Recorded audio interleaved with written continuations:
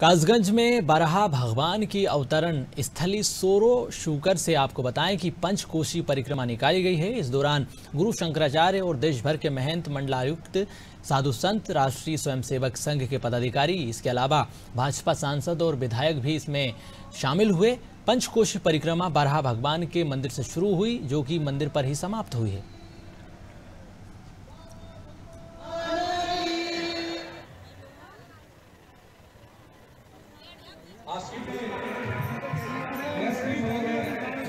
गंगा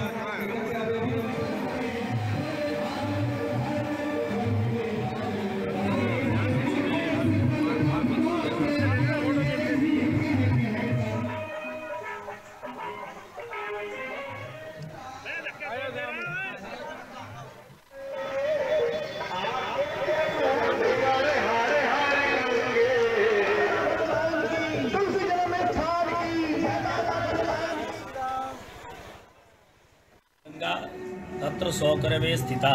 भगवान कहते हैं कि शोकर क्षेत्र में मैं नित्य निवास करता हूँ।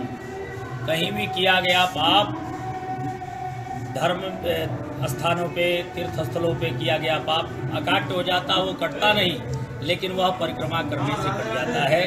तो शोरो जी की परिक्रमा करने से समस्त पापों का नाश हो जाएगा और पुण्य का उदय होगा। सभी पुण्य के भागी के लिए यहाँ पे एकत्रित हुए हैं और कुछ संतों के मार्गदर्शन और उनके नेतृत्व में उनके संरक्षण में यह यात्रा हो रही है।